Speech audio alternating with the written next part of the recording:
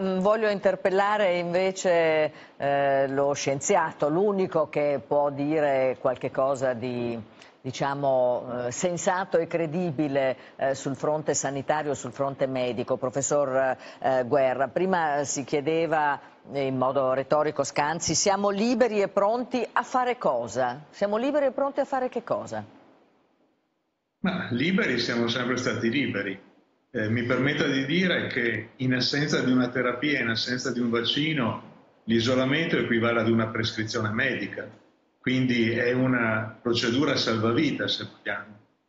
E questo vuol dire che adesso con la modellistica che abbiamo proposto al governo, quindi al decisore politico, il decisore politico ha deciso a sua volta appunto di intraprendere una certa strada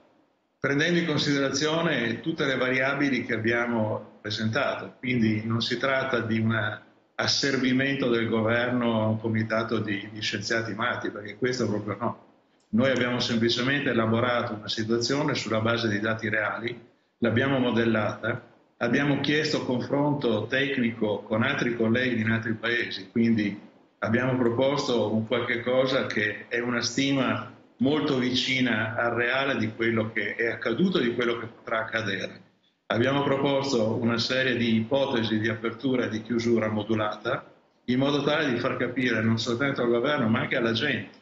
che comportandosi in un certo modo, portando ancora un po' di pazienza, non si butta via tutto il sacrificio fatto finora, perché veramente io trovo, trovo